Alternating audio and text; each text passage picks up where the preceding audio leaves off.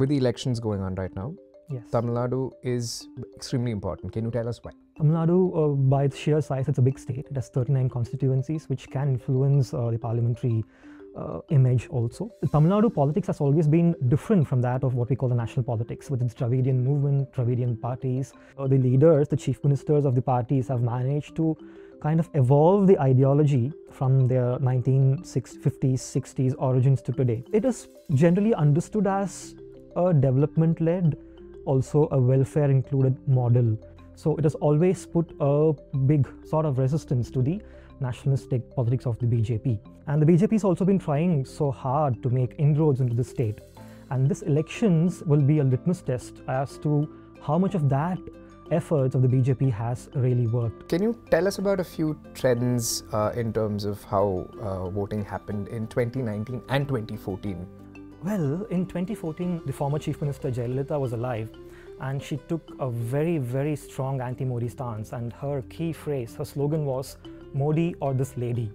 And that worked really well for her, and she got a whopping uh, 37 out of 39 seats in that election. And in 2019, uh, MK Stalin took a very strong anti BJP stance. So, both the elections, 2014 and 2019, the anti BJP stance ruled uh, these elections. Would you say that the BJP has actually gotten stronger in Tamil Nadu over the past few years? Other Dravidian party, the AIADMK, is going through very choppy waters now.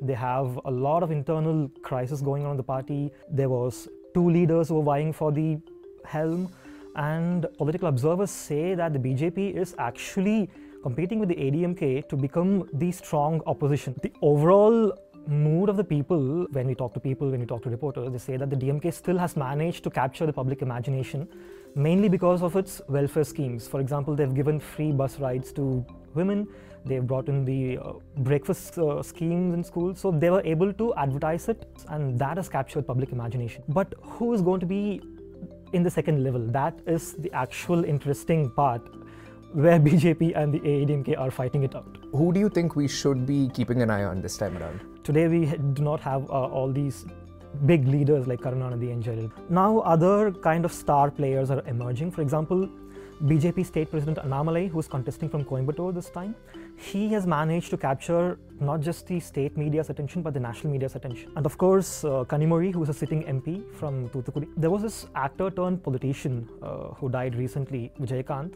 His son Vijay Prabhakar is also contesting elections, and from what we get to know from the ground, he is actually drawing crowds. Another BJP leader, uh, Tamilisai Soundararajan, who was the governor of Telangana and the lieutenant governor of Puducherry, she quit her post and joined back in the party, and she's also contesting from the elections.